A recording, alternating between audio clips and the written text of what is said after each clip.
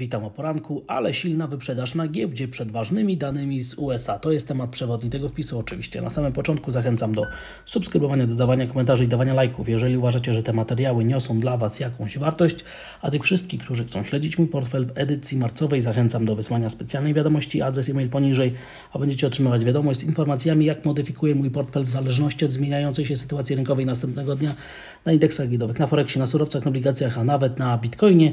I oczywiście także zapraszam 24 i 25 marca, czyli już za dwa tygodnie, na darmową konferencję Invest Cavs w Krakowie, gdzie będziecie mogli spotkać także i mnie, uścisnąć dłoń, pogadać, wymienić się opiniami i zrobić sobie pamiątkowe zdjęcie. Zapraszam jeszcze raz, przypominam 24-25 marzec w Krakowie darmowa konferencja Invest Cavs. Tam na dole link w opisie do darmowej rejestracji. Zapraszam ale silna wyprzedaż na giełdzie przed ważnymi danymi z USA. W tym tygodniu nie ma ważniejszego wydarzenia niż dane z rynku pracy, które poznamy dzisiaj o godzinie 14.30 dla Stanów Zjednoczonych za luty.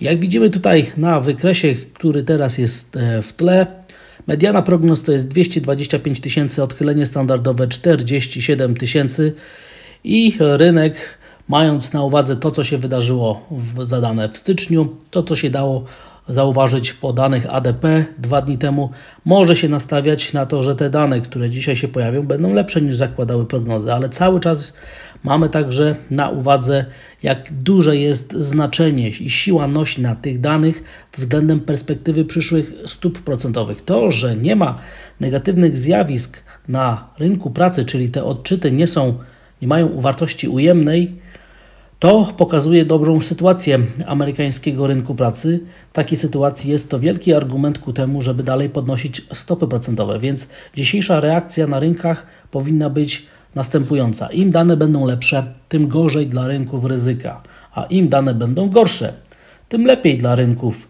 ryzyka. I jak wiemy, dane, które się e, pojawiają z rynku pracy składają się tak de facto z czterech części. Pierwsze są to tak zwane payrollsy, czyli najważniejsza subpublikacja. Później mamy dane dotyczące zmiany zatrudnienia w sektorze przemysłowym. Później mamy zmianę zatrudnienia w sektorze prywatnym i generalna e, stopa bezrobocia, która także dla części inwestorów jest e, ważna i ma duże znaczenie i ma dużą siłę nośną. Teoretycznie Gdyby e, założyć, że dane mają duże znaczenie i że powinniśmy wyczekiwać spokojnie na wynik publikacji, na efekt publikacji, jaka będzie reakcja na publikację, to wczorajsza sesja na Wall Street powinna przynieść nam stabilizację, spokój, niewielką zmienność. Tak też zakładałem, że się stanie. Natomiast stało się zupełnie odwrotnie. Wczoraj przeżyliśmy bardzo silną wyprzedaż na giełdzie w Stanach Zjednoczonych. Wall Street wprost się załamała. Można było zobaczyć, jak gwałtownie są przełamywane następne wsparcia. Rynek zaczął naruszać nawet średnią 200-sesyjną na wykresie dziennym. Widzimy to na wykresie. Zaczął nawet e, testować i naruszać roczną linię Bessy, która została pokonana w, pod koniec stycznia, a futures dzisiaj sygnalizują, że można, możliwe jest otwarcie z kolejną luką spadkową i nawrót, do, i nawrót i przyspieszenie nawet tendencji spadkowej. Czy giełda tak dynamicznie wyprzedając dyskontuje już, że te dane, które dzisiaj poznamy, będą lepsze niż zakładały prognozy?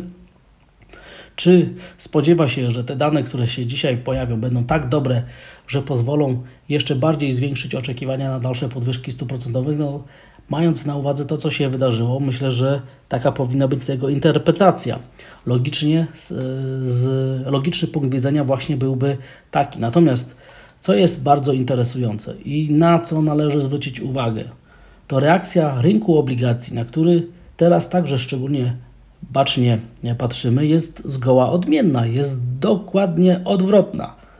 Mamy silną wyprzedaż na giełdzie, indeksy giełdowe się posypały, ale równolegle byliśmy świadkami wczoraj i dzisiaj w nocy także silnej fali zakupów obligacji amerykańskich. Zobaczmy na wykresie obligacji dwuletniej, która była przez inwestorów bardzo ściśle obserwowana, cały czas będzie obserwowana. Jak bardzo dynamicznie rentowności poszły w dół, czyli ceny poszły w górę. Gdyby się posiłkować korelacjami i logiką z ostatnich tygodni, to takie zachowanie powinno przynieść bardzo silne wzrosty indeksów giełdowych, a wczoraj doszło do bardzo silnej wyprzedaży na giełdzie. Więc ja osobiście jestem bardzo ciekawy odpowiedzi na pytanie, która reakcja była prawdziwa, co, gdzie mamy faktyczną reakcję i gdzie rynek faktycznie się pozycjonuje, bo ja osobiście spodziewam się, że te obligacje będą miały rację, a obligacje zachowują się tak, jakby te dane, które dzisiaj mieliśmy poznać, były zdecydowanie gorsze niż zakładały prognozy i oddalałyby perspektywę dalszych podwyżek stóp procentowych. Tą reakcję amerykańskich obligacji widzimy także na amerykańskich dziesiątkach, które bardzo dynamicznie złamały poziom 3,90, tak jakby powstała formacja odwracania tendencji e, wzrostowej na spadkową na rentownościach. I co jest także bardzo istotne, zobaczmy, jak bardzo obniżyły się oczekiwania co do szczytu cyklu podwyżek stóp procentowych. Implikowana stopa procentowa spadła prawie o 20 punktów bazowych na przestrzeni ostatnich godzin, co teoretycznie moim zdaniem także powinno sprzyjać temu, żeby indeksy giełdowe silnie wzrosły, a nie spadły, tak jak to faktycznie miało miejsce na giełdzie.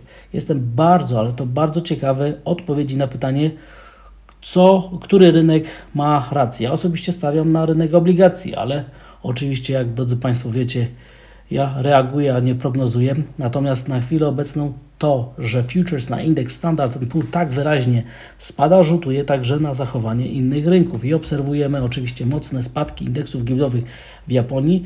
Jest to także po części związane z tym, co się dzisiaj wydarzyło w nocy, jaka była decyzja Banku Japonii, o czym będzie w dalszej części tego materiału, ale także obserwujemy spadki na giełdzie w Hongkongu w taki sposób, że przełamywane jest wsparcie w rejonie Fibonacciego 38,2%. Takiej sytuacji otwiera się perspektywa do następnej fali e, sprzedaży i jest to moim zdaniem także negatywna wiadomość dla giełdy papierów wartościowych w Warszawie. Warto być tego świadomym, ale swoją siłę cały czas pokazuje indeks DAX i będzie tak do czasu utrzymania nad poziomem 15 300 punktów. To krótkoterminowe wsparcie, jak widzimy na wykresie, które działa już od półtora miesiąca, bardzo silnie rośnie na znaczeniu nawet w średnim terminie, a utrzymywanie za każdym razem pokazuje, że europejskie spółki zachowują się zdecydowanie lepiej niż te amerykańskie. Warto być tego świadomym i na następnym wykresie jednoznacznie to widzimy, jak zachowują się indeksy giełdowe w Europie względem tych ze Stanów Zjednoczonych. I tutaj stopa zwrotu z indeksów giełdowych w Europie jest wyraźnie już wyższa niż tych dla Stanów Zjednoczonych i moim zdaniem jest to pokłosie zachowania euro-dolara. Euro-dolar, który rośnie, sygnalizuje, że kapitał płynie do Europy, szuka tutaj stopy zwrotu, a w Stanach Zjednoczonych e, te aktywa są bardziej sprzedawane. Dlatego spodziewam, spodziewam się, że e, taka zależność będzie kontynuowana, jeżeli euro-dolar pójdzie w górę. No i teraz zobaczmy, co dalej nie pasuje do tej układanki, która wynika po wczorajszej silnej wyprzedaży na giełdzie na Wall Street. Bardzo silnie spada Bitcoin.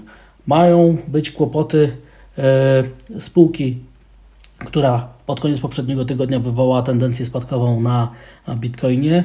Te kłopoty mają sprawić, że kryptowaluta tak dynamicznie traci na wartości, że zaczynamy naruszać nawet wsparcie 20 tysięcy dolarów i to jest coś, co zachęca do tego, żeby wieścić kontynuację tendencji spadkowej, ponieważ rynek już widzi, że dzisiaj kończymy tydzień, i trzecia już pod rząd świeca tygodniowa będzie faworyzowała scenariusze prospadkowe, bo mamy także odbicie od średniej 200-sesyjnej na wykresie tygodniowym sprzed trzech e, tygodni. Natomiast, co jest także istotne, w rejonie 20 tysięcy dolarów przebiega średnia 200-sesyjna na wykresie dziennym. No i to wsparcie może być także bardzo intensywnie bronione, jeżeli oczywiście popyt na ryzyko faktycznie chce wykorzystać te zachowanie do e, spadku, do, do akumulacji kryptowalut. Natomiast to, co nie pasuje, znowu to, co nie pasuje do e, tej wyprzedaży na giełdzie papierów wartościowych, to zachowanie euro-dolara. Amerykański dolar powinien się wyraźnie umocnić, a tak się nie stało. Euro-dolar raczej rośnie i nie ma dodatkowo większej zmienności. Dzisiaj po godzinie 14.30 powinniśmy być świadkami bardzo dużej zmienności na euro-dolarze.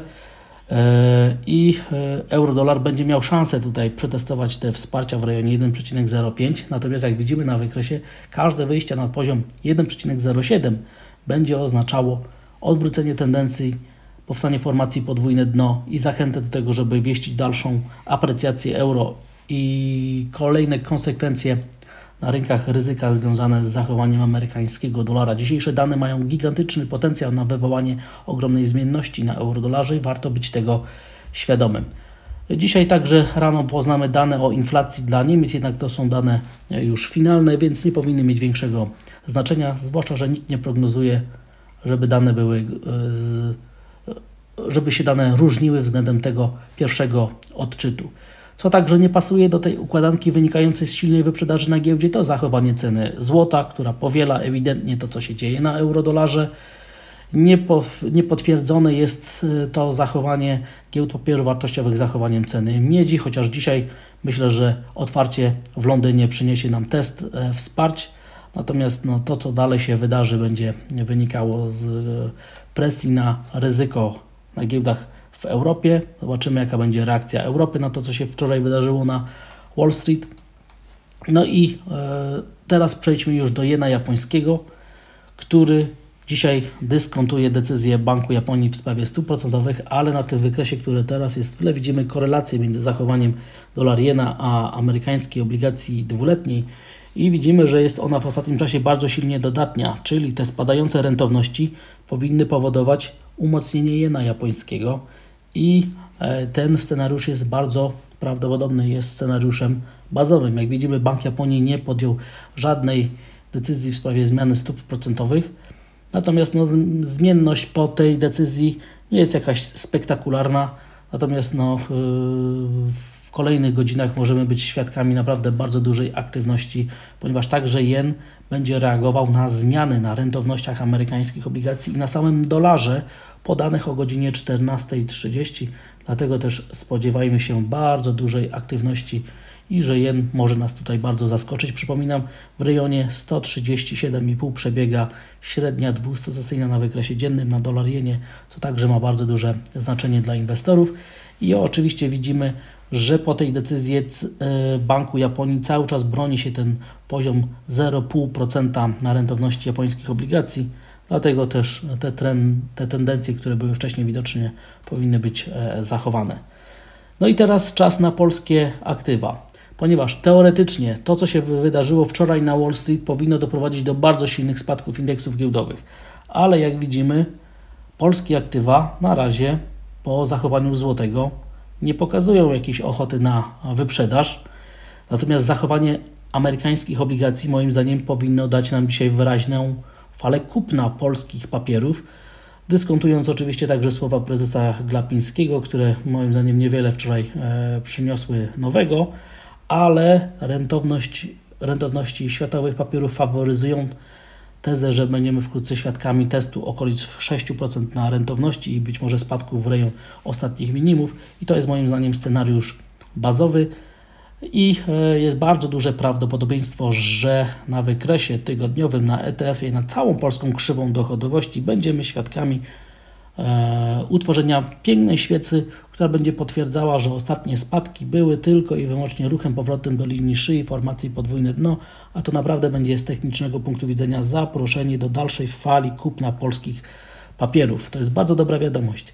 Na rynku złotego nie obserwujemy żadnej aktywności podwyższonej to jest także bardzo interesujące. Oczywiście dzisiaj złoty powinien reagować na to, co się wydarzy po danych na euro-dolarze i ta reakcja powinna być e, e, obserwowana. Natomiast cały czas także pamiętajmy o silnej, relatywnej sile krajowej waluty względem poziomów euro-dolara, pokazujący, że ktoś, ktoś z zagranicy, jakieś silne ręce akumulują polskie aktywa. Moim zdaniem przede wszystkim polskie obligacje, a w drugiej kolejności polskie akcje. Jeżeli indeks giełdowy WIG20 obroni się na poziomie 1800 punktów po tych e, gwałtownych spadkach i silnej wyprzedaży na giełdzie na Wall Street, to myślę, że popyt na ryzyko będzie miał fantastyczne, e, będzie w zdecydowanie lepszej sytuacji i scenariusze prowzrostowe jednak będą cały czas faworyzowane. Także e, przed nami fascynująca sesja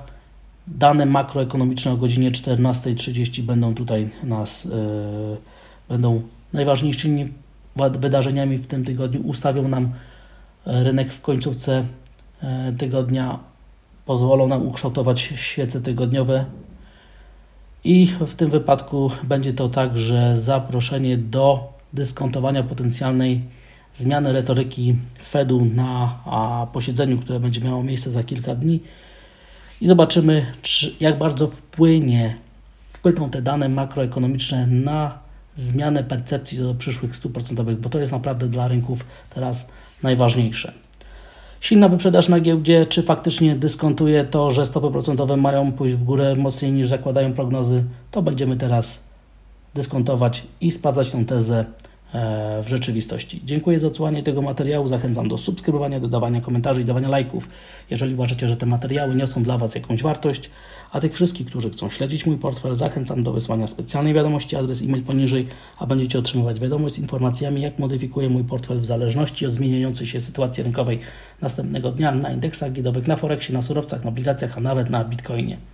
Zapraszam, zachęcam, życzę dzisiaj stopy zwrotu i miłego dnia. Pozdrawiam.